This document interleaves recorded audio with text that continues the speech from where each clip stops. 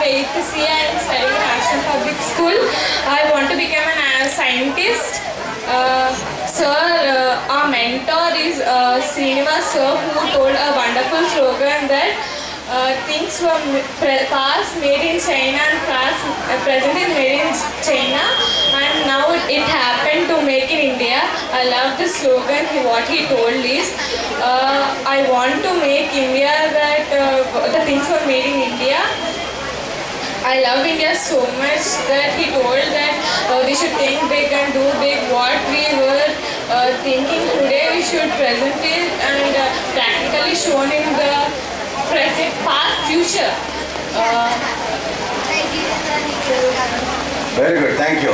Okay, so shall we say now? Make in India, made in India.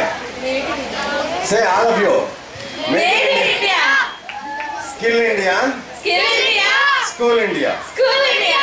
All the best. Okay, take care.